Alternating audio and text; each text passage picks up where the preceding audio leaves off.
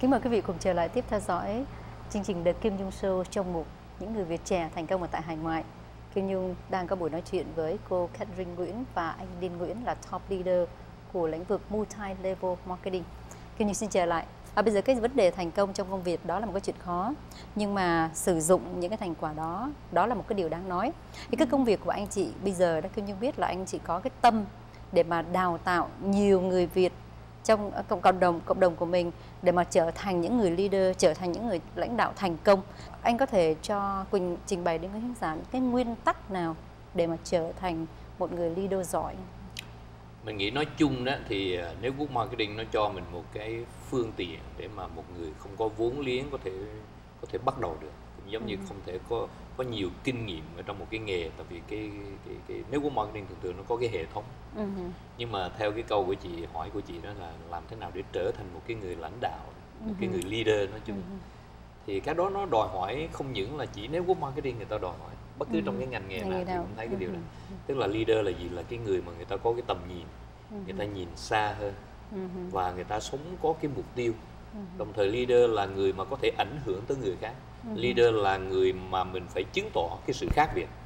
Một trong những lý do mà có thể một số mấy anh chị làm nếu có marketing về nhà mà gia đình không tin mình hay nói cái câu mình để mình bào chữa đó là buộc nhà không thiên.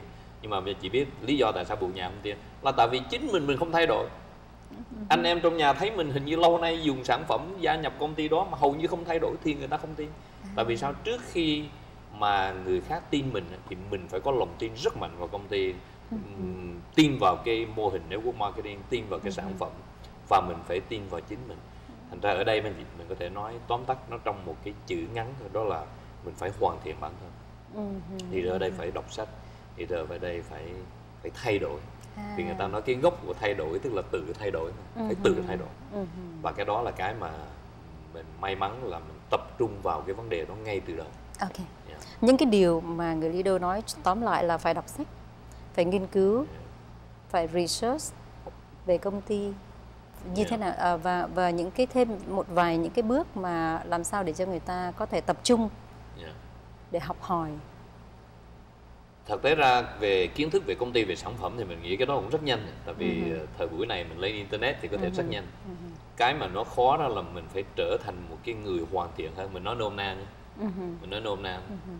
tức là muốn trước khi thành công thì mình phải thành nhân à. mà nếu mà thành nhân là gì tức là mình sống có hoài bão mình có cái câu mình rất thích đó là nếu mà sống không hoài bão cuộc đời của mình sẽ bão hoài nếu mình không có hoài bão hoài bão ở đây tức là mình phải có mục tiêu Đúng mình phải thế. biết cái mục tiêu của mình mình phải mình phải biết lý do tại sao mình làm cái này uh-huh, uh-huh. cái cái nếu có marketing nó chỉ là một cái phương tiện uh-huh. vấn đề là mình muốn làm gì với cuộc đời của mình uh-huh. và mình đang ở đâu này và làm thế nào để mình đạt được cái mục tiêu đó. Thành ra có nhiều người nói ơ vào nếu book marketing thì uh, vào đó dễ làm tiền dễ hay là uh, tôi tôi không thành công vì tôi không được may mắn. Mình uh-huh. tin rằng muốn thành công bất kỳ mọi lĩnh vực ở trong cuộc đời uh-huh. thì mình chỉ cần đơn giản ba bước thôi. Thứ nhất đó là mình nhắm. Uh-huh. thứ hai đó là mình sẵn sàng và cái thứ ba đó là mình bóp cò à. nói nôm na là vậy. Nhắm, nhắm đây tức là mình phải có mục tiêu. Uh-huh. nhắm đây là phải có mục tiêu. Uh-huh. mình phải biết 5 năm nữa mình trở thành là gì 10 năm nữa ra làm sao. Uh-huh. một năm tới mình muốn mình uh-huh có bao nhiêu lợi tức hay là mình sẽ trở thành con con người như thế nào đó. sẵn sàng ở đây đó mình phải trau dồi cái kiến thức của mình. Mình phải trở thành một cái người hấp dẫn hơn. Tại vì mình muốn hấp dẫn người khác thì mình phải hấp dẫn. Cái, cái kiến thức của mình nó phải phong phú hơn mình sống đàng hoàng hơn. Nhiều khi mình đang nói về dinh dưỡng mà mình hút thuốc lá Đã. hay là mình còn nhậu nhạt đó thì chắc chắn không ai tin mình mình phải thay đổi. Vâng. và cái thứ ba đó là bóp cò tới sao mình phải hành động. À, à, bởi vì có muốn có sẵn sàng đủ mọi thứ mà không hành động thì mình cũng không đạt được kết quả mà gì như biết là sao. Thường nó đơn giản vậy nhưng mà không vậy bất cứ một cái công việc nào một cái business nào chúng ta cũng phải có cái goal. Yeah. từ nhỏ hay từ lớn cũng phải có cái goal. Ừ. nhưng mà cái vấn đề cái, cho cái trở lại nữa những người thất bại à, là bởi vì à, khi họ rất rất là cố gắng cũng đọc sách cũng thế này nọ yeah. kia nhưng mà đôi khi họ phần đông nhá yeah. cái này là phần đông họ chia sẻ là ô tôi uh, gọi tới bạn bè tôi bị mất quá nhiều bạn bè về chứ con trông nếu mà khi mà tôi hoạt động trong lĩnh vực multi level marketing là tại vì khi tôi nói chuyện với ờ, người ta thì người ta cứ nghĩ là tôi lợi dụng để mà đưa họ vào để làm việc cho tôi thì lúc đấy đó là những cái người đó làm sao để mình có thể mình thay đổi cái mai của họ à, dung thì dung nghĩ rằng giống như cái thí dụ đơn giản là uh-huh. cái nước là mình phải nấu tới 100 độ mới sôi uh-huh, uh-huh. thành ra nếu mà tới ngay cả 99 độ thì cái nước nó vẫn chưa sôi tức là có nhiều người người ta nghĩ là người ta đã làm hết sức của người ta rồi uh-huh. và người ta không thành công và người ta bỏ cuộc uh-huh. thì có thể là người ta nghĩ là người ta đã làm hết sức nhưng mà thật sự còn một chút xíu nữa thôi uh-huh. là người ta với tới cái sự thành công nhưng mà uh-huh. bỏ cuộc quá sớm uh-huh. thành ra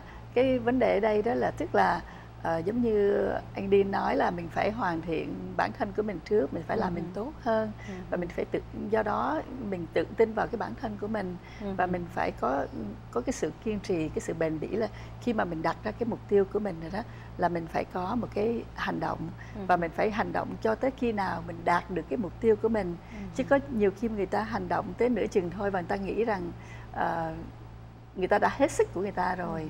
và bỏ cuộc thì chắc chắn là là là xem yeah. như dạ. là mình yeah. Ờ, dạ. mỗi người có một cái kia là mỗi người có yeah. Dạ. một cái trong cái công việc này không, không có cái người thất bại mà chỉ có cái người bỏ cuộc à, quá sớm quá sớm bỏ cuộc quá sớm ừ, nếu mà đi đi tới cùng đi đi chậm hay là đi nhanh yeah. cũng tới đích phải không ạ đúng, À, vâng thì Kim Nhung nghĩ là vẫn còn có rất là nhiều những câu hỏi Kim Nhung đặt đến với anh chị là một người thành công trong lĩnh vực multi-level marketing nhưng mà bây giờ thời gian không cho phép.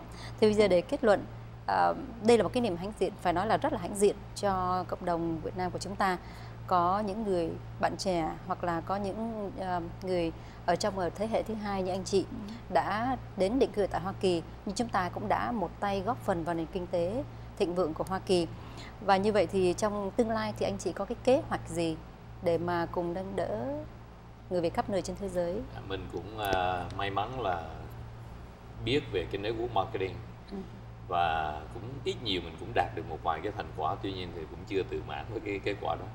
Nhưng mà mình nhìn lại cộng đồng người Việt Nam bao nhiêu năm ở đây đấy thì mình nếu mà nói thành công uh, ở Mỹ lúc này nếu mà nói về người Việt Nam thì người ta hay nói tới cái ngành nail uh, và mấy anh chị cũng biết là ngành nail bây giờ người Việt mình đang thống trị nếu mà nói là không thống trị 90 phần trăm. Nhưng mà nó vẫn phải trả giá đó. thành ra khi mà mình đã từng đã đang làm nếu quốc marketing mình nhìn lại đó thì mình nghĩ là người Việt Nam mình vẫn còn cái quan niệm lấy công làm lời ừ. nhưng mà nếu với network marketing thì mình lấy công của nhiều người khác làm giàu ừ. thì mình nghĩ nó hay hơn là ừ. mình lấy công của mình làm lời đó là chưa ừ. kể cái quan niệm về giàu ừ. giàu không phải là làm ra nhiều tiền ừ. giàu là ngày mai mình không đi làm nữa mình sống được bao lâu ừ. nếu vậy đó thì nên xây dựng một cái gì đó để nó có cái lợi tức đều đặn ừ. có thể mua nhà có thể bỏ tiền vào nhà băng nhưng mà người bình thường thì không làm được chuyện đó. Nhưng mà riêng với cái network marketing mình nghĩ là dĩ nhiên là không nó nó cho mọi người nhưng mà mình biết là không phải ai cũng làm. Uh nhưng mà nếu một số mấy anh chị hay là đặc biệt là những anh giới trẻ đấy uh mình muốn có thể có một cái phương tiện một cái cơ hội nhất là vào thế kỷ 21 nó có những cái phương tiện về social media. Ví dụ như Facebook mình có thể mình lên đó và mình nói một vài câu cái thông điệp cái lời nhắn nhủ của mình ừ. nó đi cả thế giới ừ. và mình có thể xây dựng cái mạng lưới của mình nó, nó khắp mọi nơi trên thế giới ừ. toàn cầu nó đi rất nhanh ừ.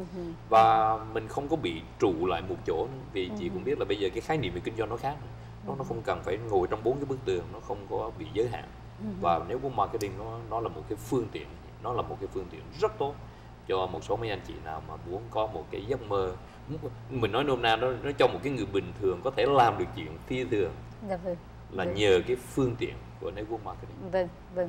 À, bây giờ thì chắc có lẽ Kim Nhung mời à, chị Dung à, có thể chia sẻ đến à, các bạn trẻ à, có thể có những lớp bạn trẻ sắp sửa ra trường hoặc là có những lớp bạn trẻ đang đứng ở những ngay ngã ba muốn làm một cái à, công việc nào đó thay đổi cuộc đời thì à, chị có lời nhắn gửi nào tới các bạn trẻ đấy để mà hiểu rõ hơn về cái công việc về network marketing và làm thế nào để có thể nhanh chóng được trở thành một người thành công ở tại uh, à, Hoa Kỳ.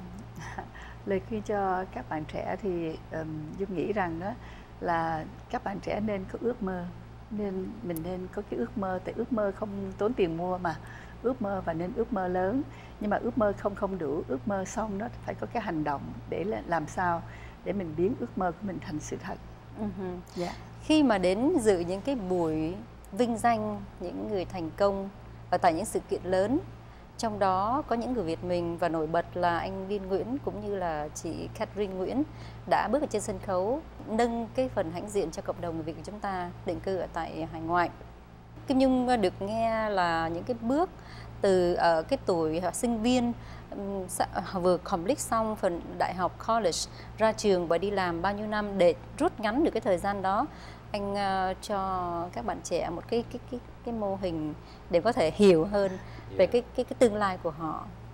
À, mình đang sống ở một cái quốc gia có thể nói là giàu nhất thế giới, uh-huh. không ai chối cãi chuyện đó. Nhưng mà trong thực tế đó thì mình nghĩ là thường thì mình đi làm đi học khoảng chừng 25 năm mình uh-huh. tích lũy cái kinh nghiệm sau đó, đó thì mình đi làm khoảng chừng 40 năm từ 25 cho tới năm 65 tuổi 65 uh-huh. tuổi là tuổi về hưu uh-huh. vì mình nghĩ là mọi những cái thú vui trong cuộc đời mình hay delay đó mình hẹn lần hẹn lửa ở chừng nào về hưu mình sẽ làm nhưng mà trên thực tế chị Nhung biết này từ 65 cho tới 70 thôi.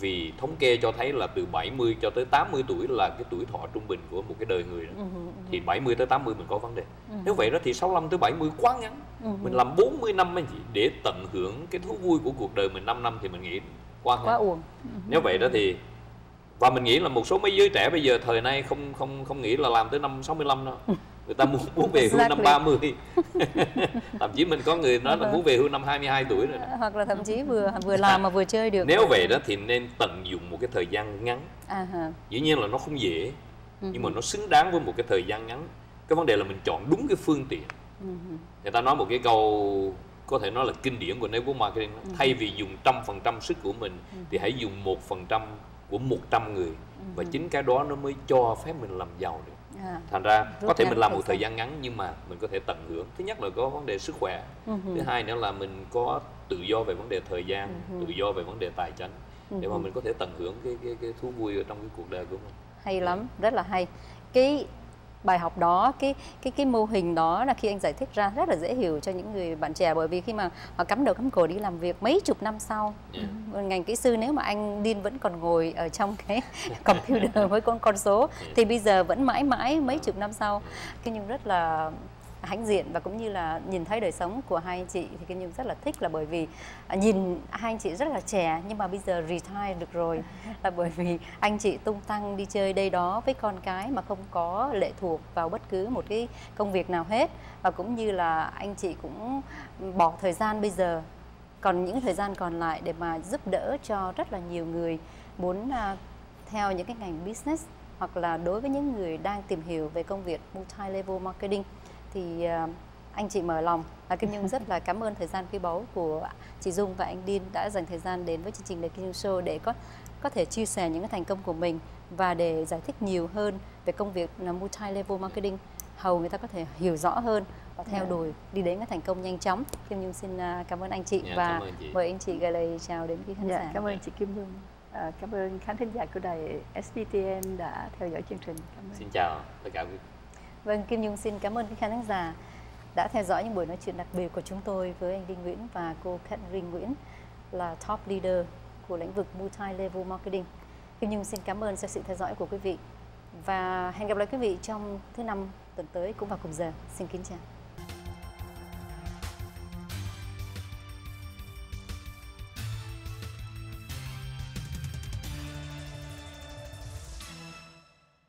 Chương trình The Kim Nhung Show được đặc biệt bảo trợ bởi ABC Supermarket, nổi tiếng với danh hiệu ngôi chợ của mọi gia đình Việt Nam, tọa lạc góc Busa và Magnolia, thành phố Westminster, California.